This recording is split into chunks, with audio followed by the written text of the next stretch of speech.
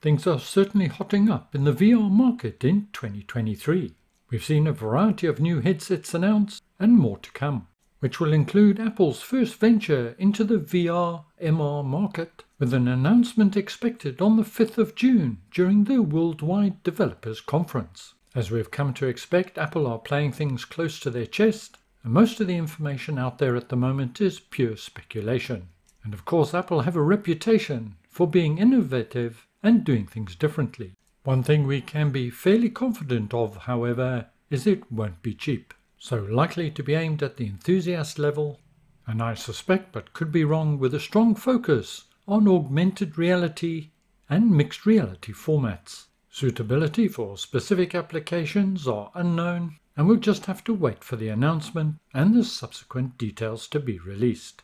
Knowing Apple, it could be a damn squib or completely shake up the market. One to keep your eye on. One headset that we do know a little bit more about is the Meta Quest 3, announced yesterday with further details coming at Meta Connect scheduled for 27th of September. No firm launch date at this time, but it's likely we'll see this in October 2023. And this is what we know so far. Welcome to the SimHanger. My name's Mark. Thank you very much for watching and let's get started. Firstly, a quick word from this video sponsor. The most expensive component in your VR headset are your lenses. Protect your lenses and your eyes with lens inserts. VR Wave can make lenses to your prescription, or maybe you don't wear glasses but want to protect your lenses. Then look to get blue light and anti-glare filter. This will reduce stress on your eyes, reduce the chance of motion sickness, means you can stay longer in VR. VR Wave produce lenses for most VR headsets, link in the notes below. The Quest 3 appears to be a generational leap from the current Quest 2, and this exploded view gives us a few more details. On the bottom of the headset, on the left appears to be a volume control, and on the right, an IPD adjustment wheel and flanking either of these are two IR cameras to aid with positional tracking. The three pill-shaped housings at the front of the headset hold a further two IR cameras and two color pass-through cameras for AR MR applications, and the one in the center is the depth sensor, once again to enable mixed reality applications. Of most interest to the VR headset is it uses pancake lenses with a higher resolution than either the Quest 2 or the Quest Pro. They say it's the highest resolution headset Meta have produced. This means it has a slimmer and smaller form factor, but not necessarily lighter. Details on that were not provided. Details on the lenses were not published, but I think it would be safe to assume that it's LCD due to its price point. And once again, we don't know whether the LCD will be two separate or a single panel. Resolution details were also not published, but it is expected to be 20 to 30% higher than the Quest 2. If that turns out to be accurate, then that will elevate this headset's resolution to equal or exceed that of the Pico 4 and HP Reverb G2. And as it uses pancake lenses, this indeed could be significant.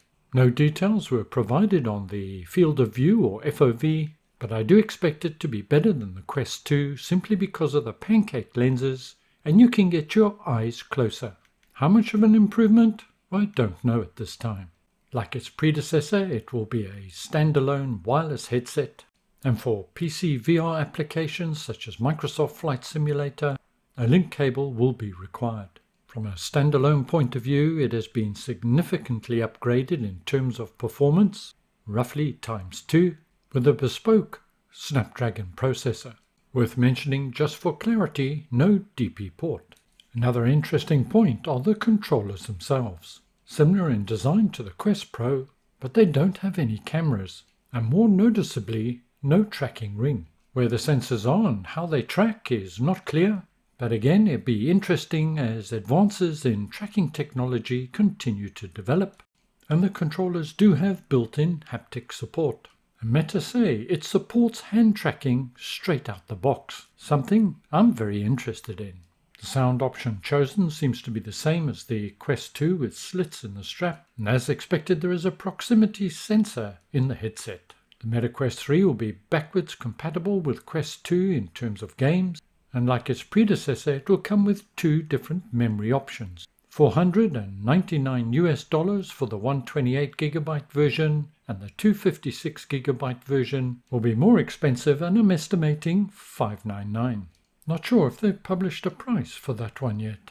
The Quest 2 and Quest Pro will get an upgrade shortly, boosting performance by up to 20%, which is great news. Also of interest, the Quest 2 will get a price drop prices returning to their previous levels, with the 128 gigabyte now falling to 300 US dollars and the larger memory version at 350 US dollars. And personally, it's great to see something back at that price point.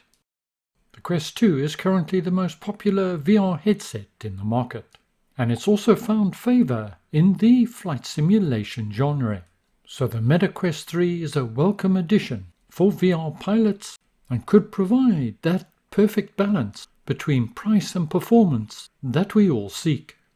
What are your views on this upcoming headset? Something you're interested in? Let me know in the comments below. Thank you very much for joining me today. I hope you found it useful and informative. Stay well, look after yourselves, see you again soon, and bye for now.